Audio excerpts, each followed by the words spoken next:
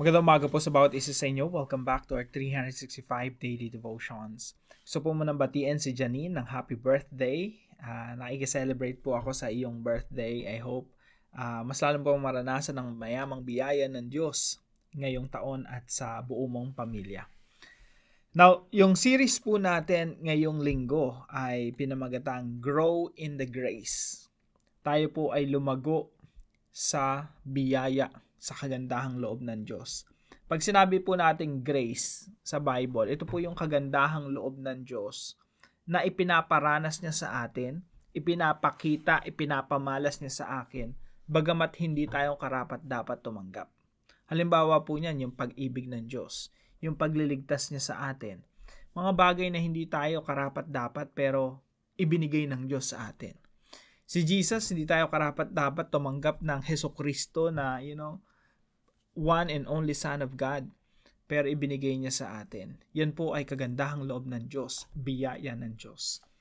At yung grow in the grace, ito po ay matatagpuan sa sulat ni Pedro na bilang bilang utos, no, you grow in the grace. Now, last week po ang pinag-aaralan natin ay ang pinag-aaralan natin ay grow in faith and trust, no? Uh, lumago sa pagtitiwala, pananampalataya sa Diyos ngayon naman po, grow in the grace. Now, yung pinakaunang talata po for this series na ating tatalakayan po ay Ephesians chapter 2 verse 8 and 9. Kung ikaw ay matagal ng Kristiyano, uh, ina-assume ko na alam mo na tong talatang ito at uh, familiar ka na. And I hope nga memorize natin to, no? Kasi napakahalaga nitong talata na ito. Ito po mga talata na ito, natutunan ko na lang, nabasa ko, napagmuni-munihan, napagbulay-bulayan sa seminaryo na po. Sabi po rito, For it is by grace you have been saved. Sa pamagitan lang ng kagandahang loob ng Diyos, sa kanyang biyaya, grace, you have been saved through faith. Ibig sabihin, matatanggap mo yung biyaya na yon sa pamamagitan ng pananampalataya. Hindi ito sa pamamagitan ng works o pagtatrabaho o pagsusumikap makamtan yung biyaya ng Diyos. Hindi po sa pamamagitan lamang ng pananampalataya. And this is not from yourselves. So, ibig sabihin, yung kaligtasan hindi galing sa sarili. Hindi mo pinagtrabahuhan. It is the gift of God. Regalo po ng Diyos. Not by works. Hindi sa pamamagitan ng ating mga gawa so that no one can boast. Kaya wala pong sino man ang pwedeng magmalaki. Pag nakita, nagkita-kita na tayo sa buhay na walang hanggan, sa perpektong mundo, perpektong creation, wala ni isa man sa atin na magmamayabang na ako naligtas ako dahil nagpakabuti ako. Isa akong mabuting tao. So sa Tagalog po, sapagkat sa biyaya kayo naligtas sa pamamagitan ng pananampalataya, at ito'y hindi sa pamamagitan ng inyong sarili, ito'y kaloob ng Diyos, hindi sa pamamagitan ng mga gawa upang ang sinuman ay wag magmalaki. Now, pinakauna po natin katuruan ngayong umaga. Uh, we were enemies and objects of wrath. Tindi, no? Tayo po ay mga dating kaaway ng Diyos at objects of wrath. Pag sinabi nating objects of wrath, yung, yung tingin sa iyo ng Diyos, eh, karapat dapat kang tumanggap ng puot at galit ng Diyos. Karapat dapat tayong tumanggap ng kaparosahan ng Diyos. We were enemies in objects of wrath. Ako ba may sabi nito? Hindi. Sabi po ng mga talata yan sa Ephesians chapter 2. Now, tingnan po natin, sabi po rito, umpisan po natin sa mga unang mga talata, no? So, sinasabi ni Apostol Pablo sa kanyang sinulatan, mga taga-Efeso, Noong unay patay kayo dahil sa inyong mga pagsuway at mga kasalanan. Sinusunod ninyo noon ang masamang takbo ng mundong ito at napailalim kayo sa pinuno ng mga kapangyarihan sa impapawid, ang spirit, naghahari sa mga taong ayaw pasakop sa Diyos. Dati, kampon kayo ng Diablo, so to speak, parang ganun yung sinasabi niya, no? Dati, sa kadiliman kayo, mga patay kayo dahil sa inyong mga kasalanan. Ang totoo tayong lahat.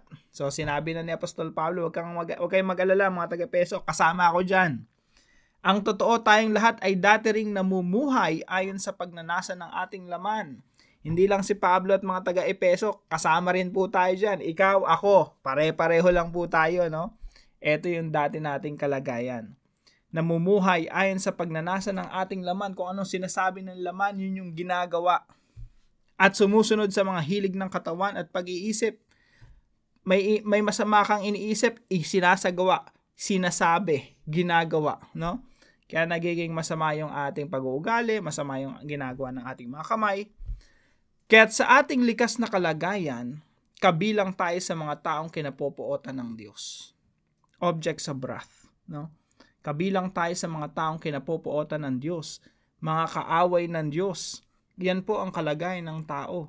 Yan po ang kalagayan natin dati nung hindi pa tayo mananampalataya. Pero ito po ang sinasabi sa verse 4 Subalit, napakasagana ng habag ng Diyos at napakadakila ng pag-ibig niya sa atin. Kaya yung unang, yung pangalawa nating katuruan, God's nature is loving and gracious. Salamat. Kasi yung katangian natin masama. Pero yung katangian ng Diyos mabuti. Puno siya ng pag-ibig at siya nga ay pag-ibig at uh, He is loving and He is gracious. Mapagbiyaya. Maganda ang kalooban siya ay maawain, mahabagin. Subalit napakasagana ng habag ng Diyos at napakadakila ng pag-ibig niya sa atin. Mga kapatid, nung tayo nasa kadiliman pa, sinusunod natin ang laman, ang masama nating pag-iisip, puro pagmumura at puro kalaswaan ang lumalabas sa ating bibig. Kinapopuotan ng Diyos. Yun yung ano natin, estado, kalagayan sa buhay. Pero dahil ang katangian ng Diyos ay mapagmahal, siya ay mapagbiyaya at magandang kalooban pinili niya pong abutin tayo.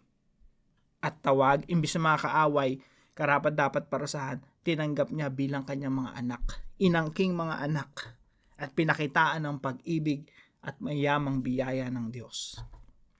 God's nature is loving and gracious. Napakasagana, sabi ni Apostol Pablo. Dapat sa atin parusahan eh. Pero sabi dito, subalit, praise the Lord, Napakasagana ng habag ng Diyos at napakadakila ng pag-ibig niya sa atin.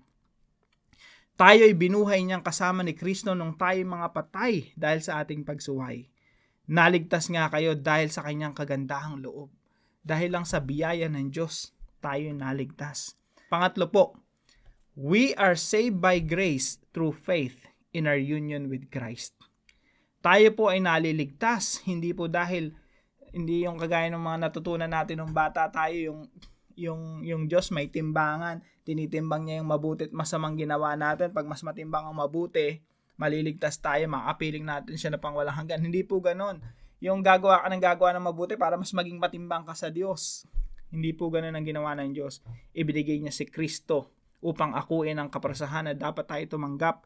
Inako niya ang kasalanan at inilagay niya sa kanyang katawan at siya ay napa, napako doon sa krus upang lahat ng ating mga kasalanan ay parusahan sa katawan ni Kristo at ang ating mga katawan ay maligtas. Magkaroon tayo ng buhay na walang hanggan at hindi na tayo dumanas ng kaparusahan ng Diyos.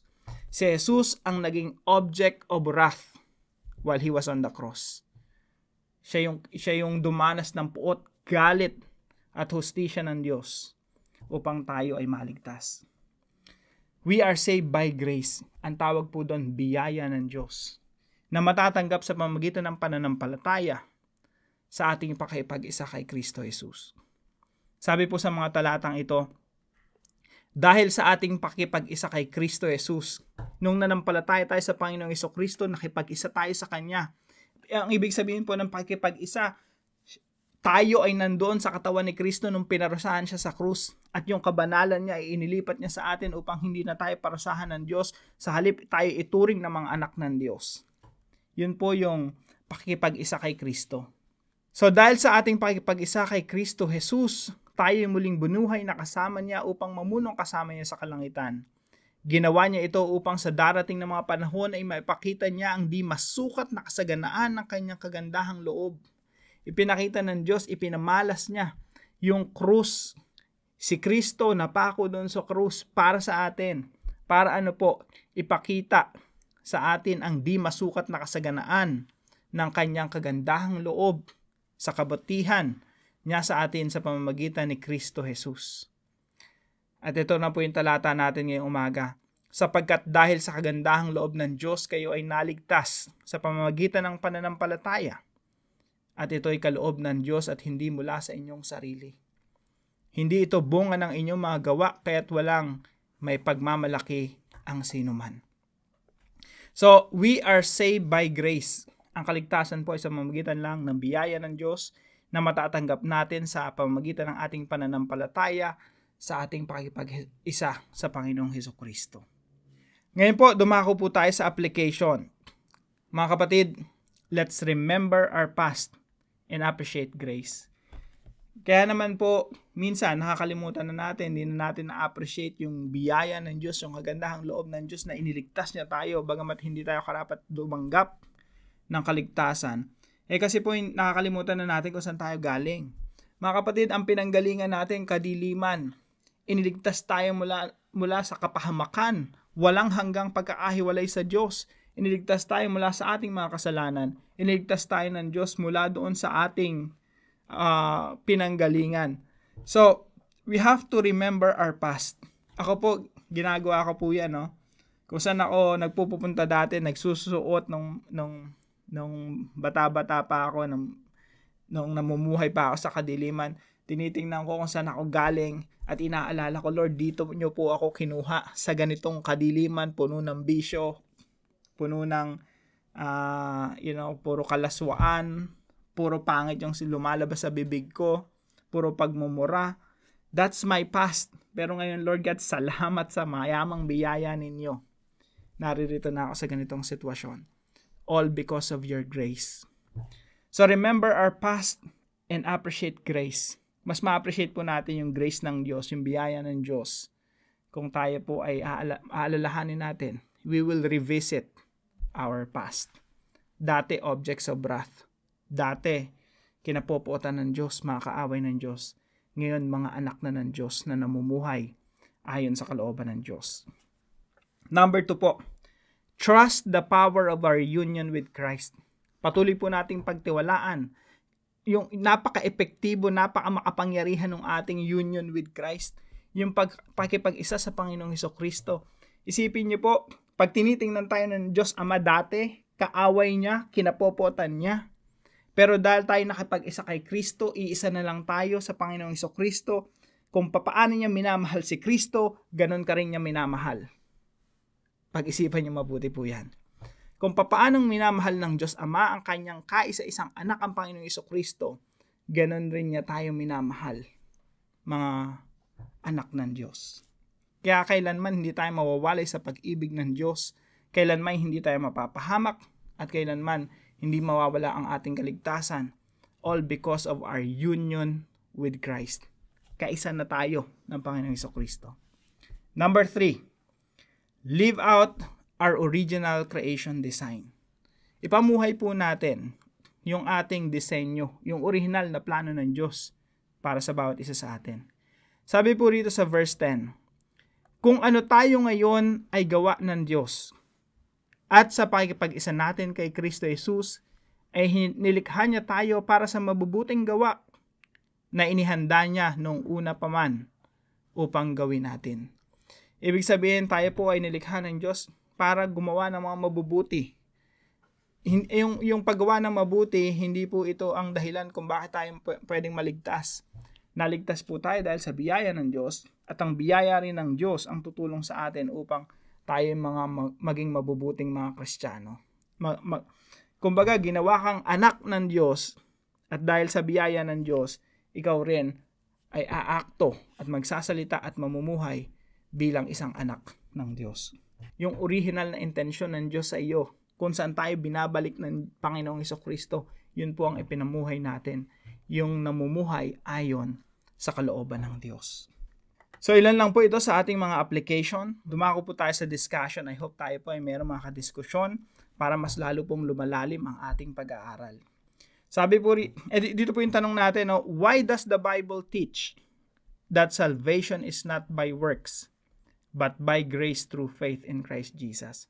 Bakit nga ba tinuturo ng Biblia na yung salvation natin is by faith, uh, by grace through faith in Christ Jesus, and it's not by works?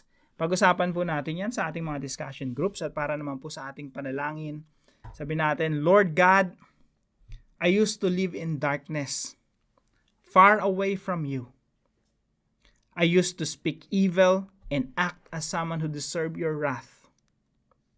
But in your great love, and through the riches of your grace, you brought me out of darkness and saved me from my sins. You called me your child and gave me a new life. Right now, I have a new direction and purpose. So, Lord, help me to live according to your will. I want to honor you and serve you. I offer my life to you. Please accept my heartfelt offering. In Jesus' name, Amen and Amen. Salamat po sa katuwang natin ngayong umaga, si Sister Vina. No? Dati kong nakasama sa ibang bansa. So hello po sa inyo, uh, Ma'am Vina. Pagpalain ka ng ating Panginoon. At kung kayo pa may natutunan sa devotion natin ito, ipalam nyo lang po sa comment section right below this video. And please share this devotion to your family and friends.